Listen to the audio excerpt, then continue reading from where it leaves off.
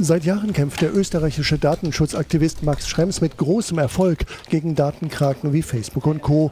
Nun gab der Europäische Gerichtshof ihm erneut Recht und erklärte das Datenschutzabkommen Privacy Shield zwischen der USA und Europa für nichtig. Denn die Daten europäischer Bürger seien nicht ausreichend vor dem Zugriff von US-Behörden geschützt.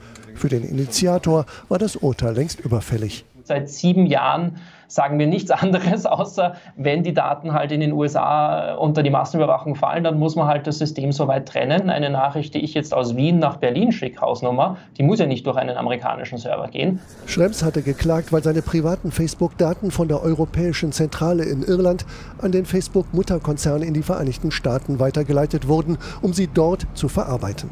In den USA aber dürfen Geheimdienste wie NSA und FBI auf private Daten ausländischer Nutzer zugreifen und sie auswerten, ohne richterlichen Beschluss und ohne dass Betroffene dagegen vorgehen können. Das hatte US-Whistleblower Edward Snowden auf Wikileaks bereits 2013 aufgedeckt.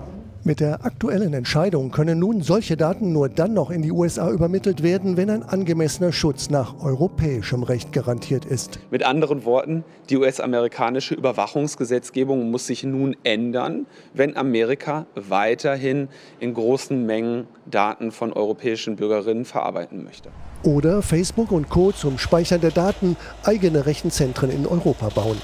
Bei Verstößen gegen das Urteil drohen die Richter den Unternehmen mit Geldbußen von bis zu 20 Millionen Euro oder bis zu 4 Prozent des gesamten Jahresumsatzes.